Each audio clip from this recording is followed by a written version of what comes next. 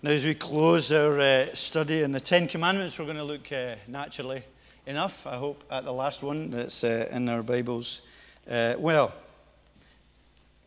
I suppose that's up for debate, really, isn't it? Because uh, Jesus spoke about a new command that he was going to give us uh, that we love one another. But I guess that's encapsulated within these Ten Commandments. And in Exodus chapter 20, and verse 17, we have uh, this last summary of God's mind and God's uh, will for us in covenant relationship with Him. And uh, we have these words on page 78 You shall not covet your neighbor's house, you shall not covet your neighbor's wife, or his manservant or maidservant, his ox or donkey, or anything that belongs to your neighbor. Now, just by way, very briefly, by way of introduction, we remind ourselves that these commands are given into a specific historical situation. Uh, covenant people of God in the Old Testament. Not many of us will have a problem, I don't imagine, with coveting our neighbour's donkey. Uh, but there is a much wider principle that is uh, encapsulated in the words of this command, as I hope we've seen in all of the commands. But it's interesting, you know, that I think sometimes, uh, subconsciously, we possibly think, okay, I can do this. I can do the commands. I can at least really make a, a strong stab at them, particularly the not murdering, the keeping the Lord's day, the not stealing, the not committing adultery. And you know, we've, we've talked about how all of these commands Jesus takes in the New Testament and uh, he broadens them into our thoughts and into our motives. But for some reason, uh, we easily forget that here, right in the core of the Old Testament, the commands move beyond the outward. And they, if you thought you were close to obeying any of the commands up till now, well, now you're nailed completely because you have no chance because here, God is reminding even the Old Testament people of God. And I think we often forget this. We, we often think the Old Testament religion was very outward, was very ritualistic, was very about obedience, outward obedience. But here, God reminds us right at the heart of his mind and will that uh, his standard reaches, reaches right into our hearts and right into our desires and what we're thinking about. And that's what's so challenging for us and encouraging as well because the gospel is all about God being able to change our hearts and our desires. So we come tonight and we think this is far too difficult and it's far too troubling and far too problematic. Um, and I, I can't deal with these things. And the great thing is that that's exactly, uh, at least what, partly, what the commands are about. They're, they're driving us uh, to the foot of the cross and to the Savior, Jesus Himself. It's easy for us, isn't it? It's much, much easier for us to just stick with outward religion. It's much easier for us just to just go to church on a Sunday, even just to read the Bible or be morally upright. It's much easier to do these tangible things, things that we can at the end of the day say, okay, I've had a decent day today. I haven't, you know, I haven't done things that are wrong. I've done my best, I've tried my hardest. And it's easier for us to think like that. And Satan would have us think like that so often, so that we're self deceived and we think we don't need Jesus Christ on a daily basis. The difficulty, I think, and the problem sometimes with our understanding of the Ten Commandments is uh, that they can, in us, lead to legalism. We can be ticking boxes as to which we obey. It can also lead to uh, judgmentalism. We like to tick the boxes other people are obeying or not. And uh, it can lead us to uh, a deception about ourselves that we don't need changed in the inside and we don't need uh, to be uh, born anew. That's a really bad place. There's, the worst person in the world is the religious hypocrite, isn't it? The worst person in the world is someone who has religion but doesn't have the Savior, doesn't have Christ, doesn't have redemption. That's the most horrible place to be. It's the most kind of cold, uh, icy, lonely, difficult place to be. It's the most frustrating place for us to be. But the great thing that we're reminded of here is that this is a, a, a window into God's mind. It's a window into God's will and God's desire for us. We're going to just slowly move through this commandment together this evening. It's a very interesting commandment. I think in some ways it's last, and this is simply a kind of visual picture, it's kind of last because it, in many ways it holds up the other nine. Uh, it's, it's like the veins of this command reach into all the other nine commands. Uh, there's an interesting book by a, a, pastor in London called, he's called J. John, and his, uh, his book on the Ten Commandments is called, I think, Ten, originally. Uh, but he, interestingly, and it is original, he uh, works through the commandments from the end. He starts at the tenth and works forward. He's not trying to be smart. Uh, he's uh, not trying to be different, and he's not trying to say he knows better than God, obviously. Uh, but it's just interesting because there's much that is, is true uh, in recognizing uh, the, in the, the tenth command, the covet, the desiring of our hearts, uh, and the wrong desiring of our hearts. It reaches into all the other commandments.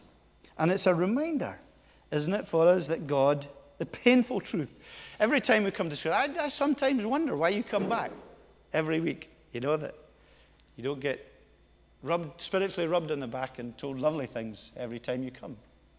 But each time we come to God's Word, there's painful truth, isn't there? And the, the painful truth that the commandments remind us is that God requires perfection. It's not just what we look like, it's not just how we act outwardly, but it's, an, it's inward perfection also, our desires. This commandment's all about coveting, which is wrong desires. And so he's saying that you need to have perfect and right desires and right intentions. We come to church tonight and God is saying, I don't just see you. Isn't it a remarkable fact that God is saying, I don't just see what you're like on the outside. I know what you're thinking. I know your desires this evening. That's what he's saying. And he's saying, I judge your desires. And I judge them, and they are found wanting. That's what he says of each of us. Our uh, secret thoughts expose for all of us our huge need of a Redeemer because He is the revealer, the judge and the revealer of our thoughts. We sit here this evening and we're clothed and in our right minds, most of us. But God sees beyond this exterior that is life that we live. And it exposes our deep seated problem. And what's your deep seated problem and my deep seated problem this evening? In the remaining, if we're Christians, in the remaining sin that's in our hearts, and if we're not Christians, at the very core of your being, is you wish you were someone else. That's at the very core of you. And that's the core of wrong and sinful desires. You wish you were someone else. You wish you lived somewhere else. You wish you did something else. You wish your life wasn't yours because you want, you covet something you don't have. And it's at the very, can you see what I mean when I say that it's the core of maybe all the other commands? You, you know, we read about that in James. You, you don't have because you have the wrong desires and you want to spend them on wrong things. And it causes grief and anger and jealousy and division. And uh, you, you could take it to the first table of the law, to the first com- early commandments, and apply them because, in a sense, wasn't it coveting that, that was the great sin of, well, we could talk about pride or you could, you could talk about independent, different things, but maybe coveting was what Adam and Eve did, was it not, in the garden? Was it not the root of their great sin? I want to be God. I, I don't want him to rule over me. I want to listen to what Satan says, and I want a bit of God. I want that independence. I'm not going to die. You too, Satan said, you too can be like God. He, he provoked covet, a covetous spirit within them that they could be what actually, of course, they couldn't be sinful desires. And it's that powerful force that we fight against within us as Christians. Wishing we were someone else, somewhere else, doing something else. Not where we are, not where God has placed us, not the person that God made us. We want to be something else. And it can be a hugely destructive force within us, uncontainable, unhumanly unchangeable, unstoppable. And it enslaves us because we can never be released. We can never be free as we are, as God intended us to be by grace, always looking over our shoulder, always wanting something else, always desiring what we don't have always looking uh, away from Christ. And of course, the reality of that is the deception of sin and the deception of uh, those who uh, have not yet fallen in with Christ. So, number 10, coveting.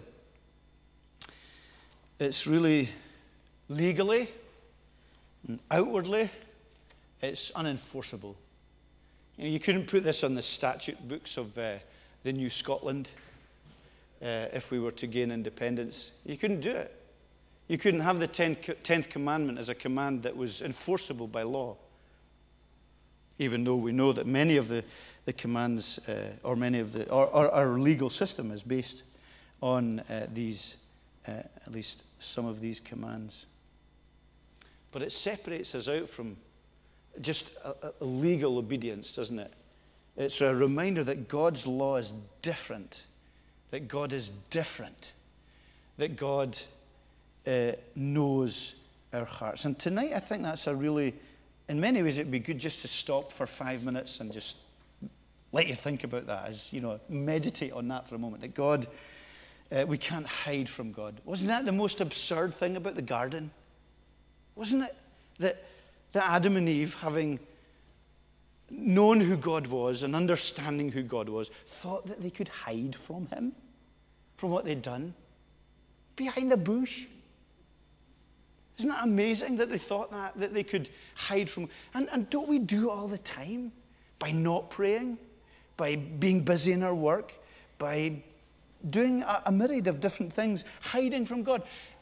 You know, it's like the little child who's playing hide and seek and who covers his eyes and thinks that no one can see them because they're covering their eyes.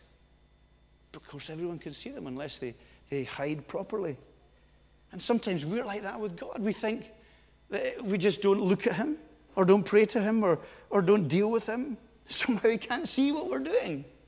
And He's one who knows intimately our lives and knows our hearts. The prohibition is coveting. And it's interesting, isn't it? The second table of the law, the second set of commands that we've seen before. If it's love your God, Lord your God with all your heart, soul, your strength, and mind, and your neighbor as yourself. The second table of the law is all about our neighborly uh, response to one another. Um, you know, honoring our parents, not murdering, committing adultery, stealing false uh, testimonies. Your neighbor you shall not cover. And this is very much in the context of covenant community. You know, you covet your neighbor's house. It's uh, our attitude, isn't it? It's not just our internal attitude, but it's our attitude to one another. It, it, it reveals itself not just absolutely privately and internally, but it, it reveals itself externally in how we think about and treat our neighbor. So, at one level, we say, well, the, the, the Word of God and, and the, the, the eye of God is in our hearts. It's very private, it's very secret. That's true. But very often, what is in our hearts is revealed by how we live with our neighbor. So, it, our actions sometimes reveal the intentions of our heart. And so, it's phrased and it's, it's, it's molded in, in the context of community and in the context of how we treat one another and becomes, therefore, so often the motive, as I say, behind what causes murder and adultery and stealing in community with others. So it speaks about not coveting, I think, not just in a focused, obviously, way in this commandment, but generally not coveting, material things, not coveting your neighbour's house, as is uh, summarized here. So, always wanting materially what we don't have, desiring what maybe we don't have because thinking that will bring us happiness, that will bring us contentment, that will bring us fulfillment, that will bring us ultimate meaning in life. So that we look at our neighbor and we say, Oh man, they've got a great house. I wish my house was like that. They've got a great car. I would love to have a car like them. Or they've got a great job. Or whatever it might be in, in material, maybe more material terms at that. A great, it, it's a, it's a challenge about greed, isn't it? Greed, uh, covetousness can also be translated uh, greed. And it's this uh, prohibition of wanting all the time what we don't have, wanting more clothes, wanting new clothes, wanting bigger and better, envious of what other people have, uh, living our lives in other people's back pockets, wishing we were like them, constantly discontented with what God has gifted to us, what God has given us. Ultimately, grumbling against Him because we think, You're treating other people better, God. I wish I were like them. Why is their life so good? Why is my life so poor? And it's coveting, it's thinking badly of our neighbor because we're thinking we would rather what they have. They don't deserve it. I do. So not only does it have agreed within our own hearts, but it, it instills a bad, a bad, uh, uh, bad thoughts towards others who have because we regard ourselves as being more worthy of what uh, they have than, than they are. And so there's this great, it, it, it causes discontent and it causes friction and it causes unhappiness and it causes dis, uh, greed uh, in our thinking, our lives. So material things. But interestingly, also, you shall not cover, covet your neighbor's wife. So it's not just illegitimate desires for material things, but it's illegitimate desires for other people always been discontent with the relationships in which God has placed us. Seeing someone else's wife say, well, or husband, and thinking that person would really be far better with me. I would understand them better. I would treat them better. I would be better with them. Thinking that other person doesn't deserve them. I deserve them. I wish I had them. And so there's this uh, uh, a great, so, isn't it? Can you see it as it outworks? It's so self centered because the world revolves around us. That's mine. They should be mine. I should have that person. I should have this. And so it's, it's replacing God's rightful place and saying, I'm at the center of the universe and this is what I deserve. And this is what I ought to have. And this is what I ought to be like. And it ultimately is hugely uh, ugly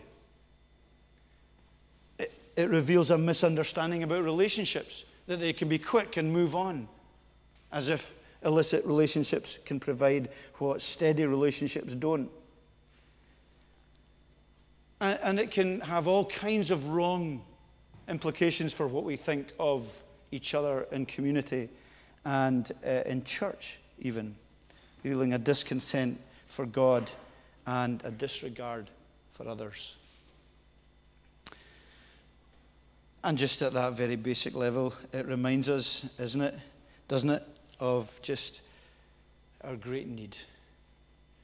Sometimes we covet because we loathe ourselves. We can't believe God loves us and we can't believe God cares. Sometimes we covet because we love ourselves. Because we think God should care far more because we're worth it. And uh, he is not at the center of the universe, we are. And we covet because we want self service. We want it now, and we want it our way. And it leaves us thinking, well, how can I change? How can I change my desires? How can I purify the, uh, the undefinable? How can I not covet? I guess we step out here and, and every day we covet. We might not think we're lawbreakers, but every day there'll be elements in our thinking and our desires that, that remind us that we covet. that we don't want to be who we are and we don't want to be what we're doing. We're slaves to that. But the great redeeming, redeeming hope of the gospel is that Jesus says, I, I, I give you a new life. You, you know, that's why it's so important that we understand being born again. You know, I know a lot of us are brought up in the church and it's been a gentle, a gentle movement into the kingdom. And it hasn't been a radical uh, rebirth. But the theological truth behind it is so absolutely crucial for us to understand that he, he gives us new desires. And He works in us, and we cooperate with Him to fight, to see these new desires transforming us to be like Jesus Christ. And it is a fight, it is for us a fight. But Jesus Christ is up for that and is victorious over death and the grave and is absolutely willing us. And He's not condemning us, He's not uh, exposing us uh, as a ty- tyrannical God. He is dealing with us because He loves us. And He says, Look, be honest. Be honest with one another and be honest with me and come to me on a daily basis to help transform that coveting heart so that it desires you. Why, why is our worship so significant, important? Well, there's a million answers to that. Uh, but because, or, or what should be important in our, desi- in our worship is that it reveals uh, a transformed heart. You know, just as uh, coveting reveals, reveals itself in our attitude to our community and to our neighbors and to selfishness and pride and all these things, so a heart that's been transformed should be revealed in our worship and in our ongoing attitude to one another. Selfishness is being dealt with by Jesus. And you will go from here and you will be tempted to speak about people and think about people and act towards people in ways that Satan will come in and say, it's okay to think that way, it's okay to live that way, it's okay to deal that way with one another. But what we really want to impress on each other is the Holy Spirit transforming power for every day and every part of our community living as Christians. What then, as we close, do we have to do other than fall on our knees before Christ? Well, we simply need to put him first, don't we? That is what he asks in Matthew 6 33, where he's often kind of uh, elucidating, going through the commandments again, and, and kind of with his incarnate New Testament uh, understanding and, and uh, application.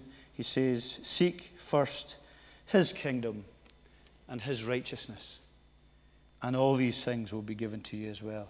Isn't that great? He's just saying, Please, just put me first. When we covet, it's other things we put first because we think they will bring us happiness. We think they will change our life. We think they will bring us joy. And we are all battling with these things. And he says, Please, just put me first. I've gone to the cross for you. I love you uh, with no greater love, not even a greater, even if it was just a, the greatest human love, it would be amazing. But this is the greatest divine love. And he says, I've gone to the cross for you. And he says, I can't do anymore. Put me first, and I'll give you the things you need. I'll give you the things that will bring you blessing and joy because I love you and I'm your father, I'm your brother, I'm your friend, and I'm the holy God, yes. But seek me first. Put my kingdom and my righteousness first in your life, and these things will be added to you as well. That is so crucial to us, isn't it? He's reminding us when he says that that we can't, in Luke 16 13, we can't serve two masters. We simply can't do it. No servant can serve two masters. You cannot serve both God and money. And so there's, there, there's a challenge that we covet what we don't have. We wish we had a bigger bank account so we could buy more things and be happier and maybe impress other people and get them on our side. And he says, Look, it's all about understanding the desires that come through grace and the sins that we need rescued from and the wholeness that he has come to give us. So, the great gospel message, the great message of the commands is that good desires, which we all want, don't we? We all want good desires. We all want to have good desires. Sometimes we quibble about what maybe these good desires will be, but we all recognize that we want good desires to come from our hearts. And if we acknowledge God, then we acknowledge that He is good God. And we can take comfort that we can get our good desires from God. That He can give us a vibrant, heart beating Christianity because He's done major heart surgery spiritually. And we don't, therefore, have this massive tension always of looking like one thing on the outside. I'm supposed to be a Christian. I profess to be a Christian. This is how I should act. But I'm miserable. I'm miserable inside because all my desires are wild and dark and they're different from what I'm supposed to be. Because we've kept Jesus out here and we haven't taken him in here. And we haven't let him do this radical uh, reworking, remolding of what we are from the inside out because that's what He wants to do. So we can have a thirst for God and a desire for God. And uh, that comes from a relation, ongoing relationship with Him in prayer and, and seeking His will primarily, first and foremost, to work within us.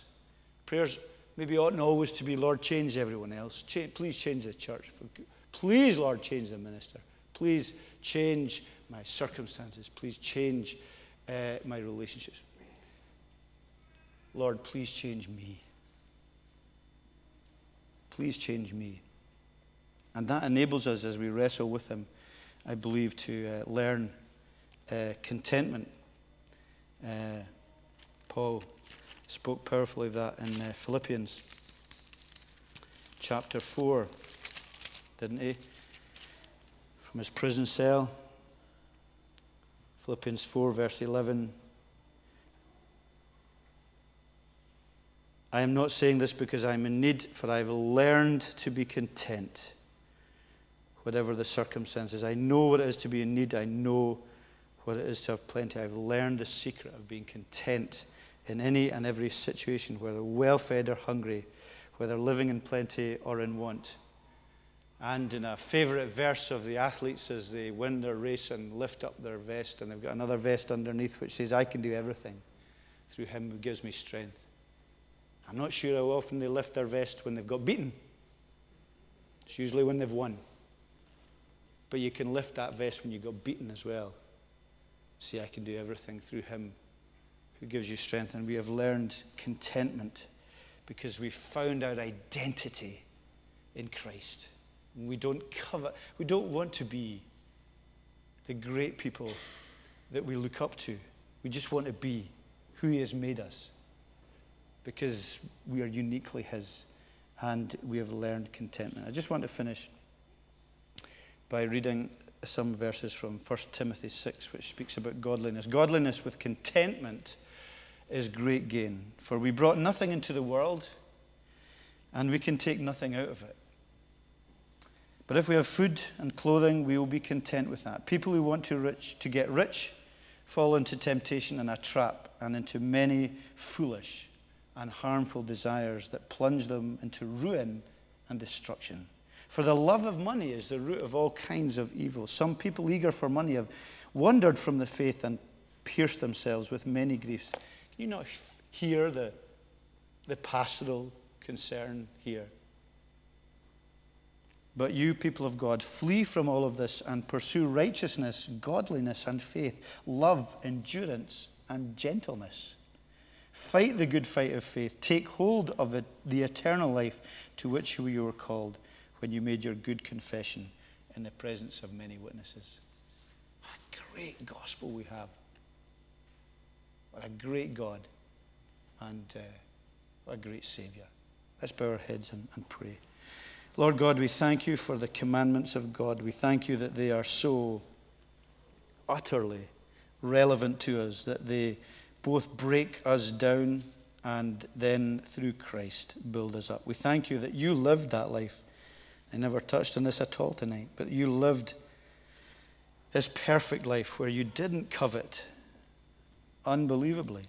that you lived this perfect life, not just outwardly, but that you had no wrong desires, that you didn't covet what anyone had or any other person in any wrong way,